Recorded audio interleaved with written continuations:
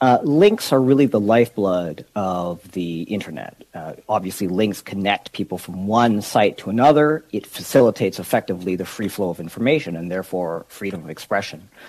And we have never seen in anywhere else in the world an attempt to regulate the free flow of information by putting into scope effectively a toll for links. Creator of the internet has concerns of Bill C 18 as this could break the internet. We have never seen a law like this anywhere else in the world. Limiting usefulness of links would have serious effects of freedom of expression. Rachel Thomas questions Facebook witness on the devastating Bill C 18. Here's the clip. Um, I will direct my first question here to Mr. Chan at Meta. Um, Mr. Chan, in your opening remarks, you talked about the open internet and how it allows for competition to thrive. Um, however, you made reference to the fact that this legislation would actually harm that. In fact, the creator of the internet, um, Sir Tim Berners-Lee, has also said the same thing. When Australia came out with its legislation, he said that it threatened the intent of the internet to be an open and broad space where people could collaborate and share ideas freely. Um, I'm hoping that perhaps you could expand on this. How does this legislation harm the internet or break it, as some have claimed?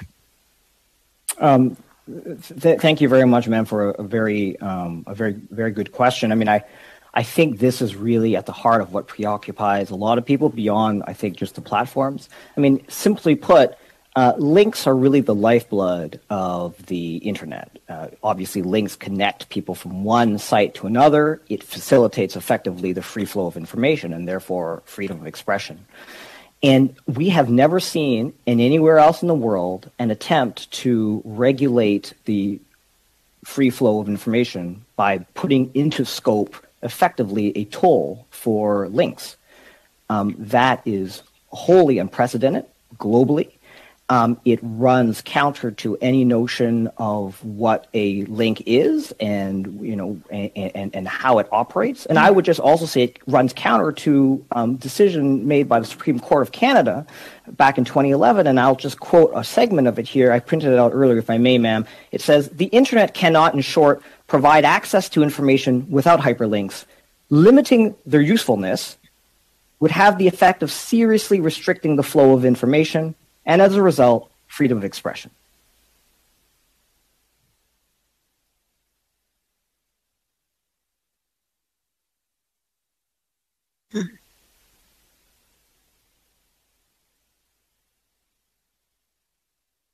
Ms. Thomas, I think your question has been answered. Do you have another question? Yes, thank you. I apologize. My internet is unstable, and so I am cutting in and out a little bit. My apologies. Um, my my next question here um, will go to Matt at Open Media. Um, Matt, you talked about the fact that Canadians do need high quality news sources, and you said that there's a great deal of variety that is required in order to maintain a democratic system that is healthy. Um, but you almost also made a comment that Bill C 11 actually doesn't accomplish this stated intent. In fact, um, you seem to indicate that it would harm innovation and creativity and variety among news sources. Do you care to expand on why that's the case? Yeah, that's right. And I'm going to springboard a bit off, off what Kevin was just saying here. So, under this bill, we're attaching a cost to this to good information while leaving bad information free to spread um, without any cost. Uh, and the belief is that that will somehow lead to good information spreading more and faster. Does that seem right to you? I mean, we didn't need to be costing uh, good journalism in this way. We could have found money for it without attaching this cost. Um, and unfortunately, the decision of the drafters of C18 has has been to do this. In terms of concerns about the spread of bad information here, um, it's incentivizing incentivizing existing outlets to produce more lower quality content. But it, because of how low the standards are in C18 for recognizing um, quality information and quality information outlets, uh, it's actually opening, opening huge doors for a whole range of bad actors to enter Canada and to start spreading their misinformation. So we're talking about clickbait farms. You know, the doctors can't believe this type people might take huge advantage of this legislation. Um, and we're even talking about hostile foreign actors, um, groups like RT, but there's many more who might have a real interest in misleading Canadians and find a way of misusing this legislation to do so.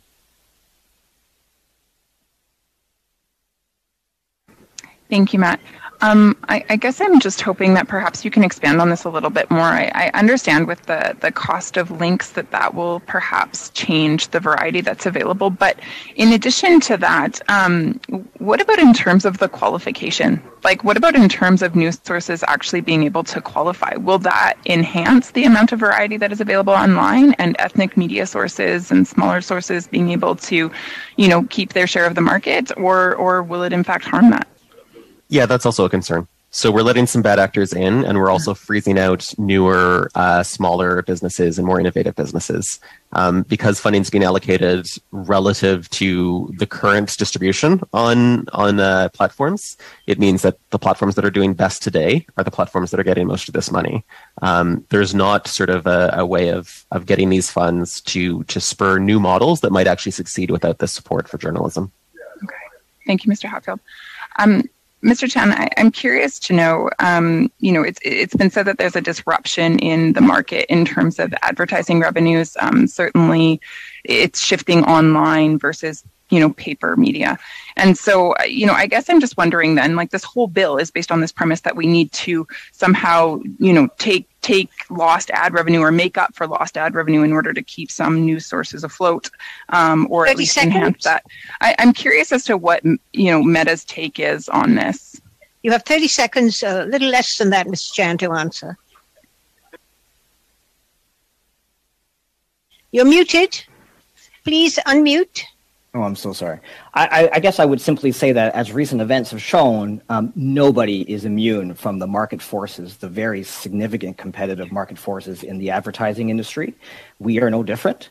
Um, but it would be false to claim that this started um, because of digital platforms like Facebook. I think if you go back into the history of reporting on this, uh, it goes back to the early 2000s, um, long before we existed and long before we monetized.